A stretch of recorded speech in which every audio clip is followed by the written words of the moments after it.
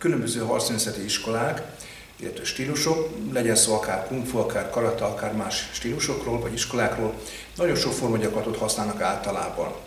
Van olyan sáska iskola például, aki 91 formagyakorlatot használ.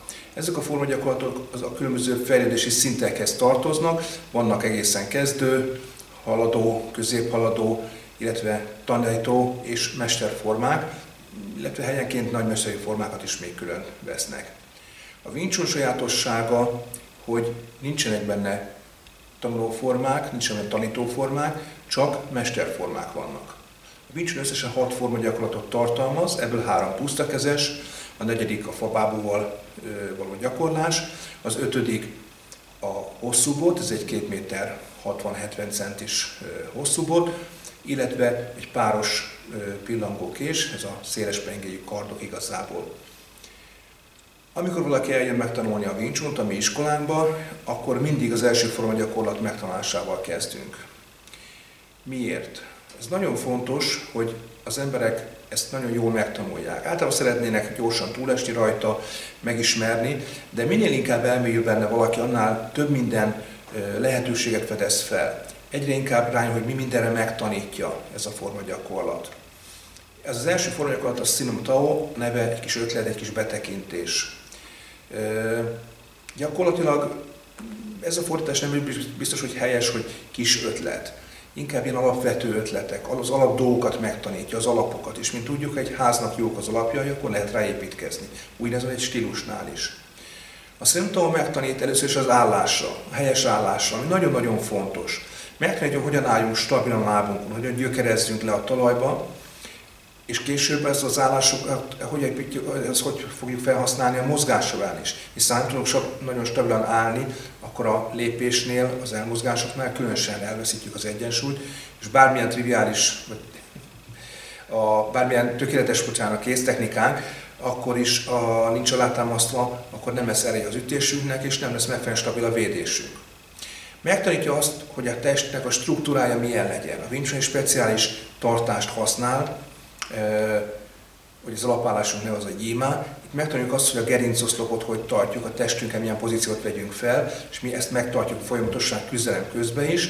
Pontosan azért, hogy a visszaható erőt, illetve az ellenfél által ránk mért ütést, hogyha elvédjük, akkor egy erő hat ránk, ezt hogyan tudjuk elvezetni a talajba, hogyan tudjuk azt megoldani, hogy nagyon stabilak maradjunk közben.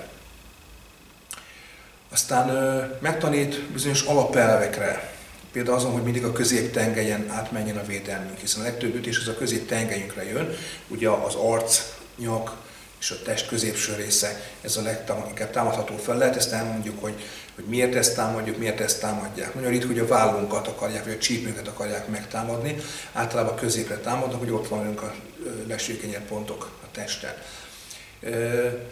Megtanít bennünket arról, hogy a védekezésen keresztül menjen ezen a középtengelyen, illetve hogy a támadásaink is oda irányuljanak. A képzelőbeli ellenfelünknek, ugye a tükörképünknek tulajdonképpen a középtengelyére. Aztán megtanít az alapvető védéstechnikákra, védésütés technikákra szinte az összesre megtanít. Nagyon-nagyon kevés technika az, amit következő formagyakorlatokban tanulunk hozzá, kéztechnikákat, hogy inkább csak különböző variációk, különböző kombinációkban kezdjük el használni ezeket a kéztechnikákat. Megtanít arra, hogy honnan indítsuk az erőt. Megtanít a valódi könyökerőre, erről egy később videóban még fogok beszélni, hogy mi is az a könyökerő. Megtanít arra, hogy honnan indítjuk az erőt, mert a legtöbb ugye nem a, tehát hogy hova figyelünk a mozgásnál, hogy tartjuk lazán magunkat, és hogy használjunk olyan izmokat, amit az átlagos napi élet során nem használunk. Olyan mély izmokat, illetve belső izmokat kezdünk el használni, amit egy átlagember nem használ napközben. Nagyon fontos, hogy a legtöbbször ugye a könyök erőt használják, ezt már mondtam, valamikor a csuklót. Tehát megtanít arra, hogy mikor, honnan indítsuk az erőt. Nem csak azon túl, hogy a, a vállunk maradjon lazza és a lapocka környékizmok dolgozzanak, hanem például egy jump soundnál, ennél a mozdulatnál a csukló az, ami az erőt adja. Onnan indul az erő. Egy ütésnél a könnyék. Egy táncszónál szintén a könnyék.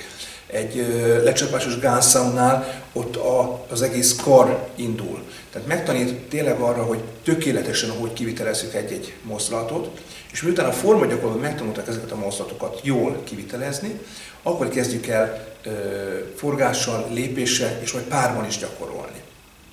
Jó?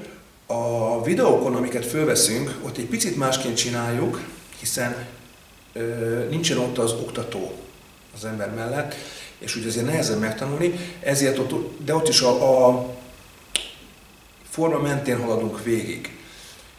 Tehát a Robi nagyobb tanítványom bemutatja a különböző mozdulatokat a formából, szépen lépésről lépésre, ezeket is lehet kapcsolni.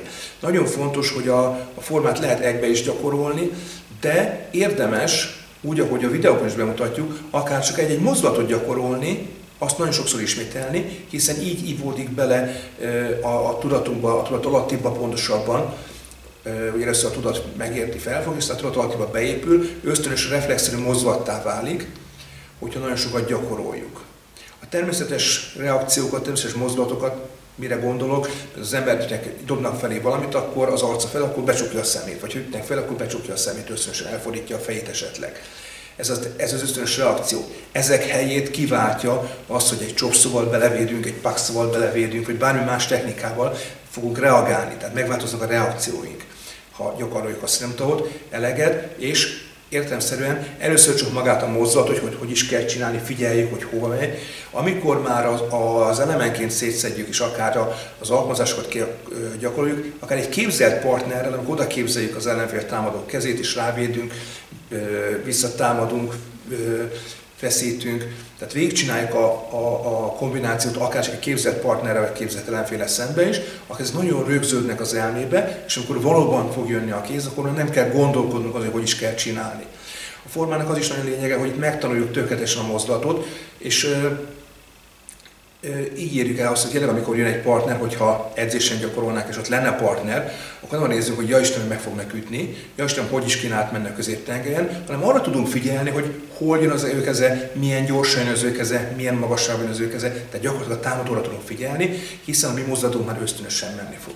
Jó, erre szolgál a szerintem nagyon röviden, nagyon többen összefoglalva. Én nagyon sok mindent lehet róla mondani, de azt gondolom, hogy, hogy azt majd későbbiekben a technikai bemutatás során úgyis el fogjuk mondani, nem húzom az időt.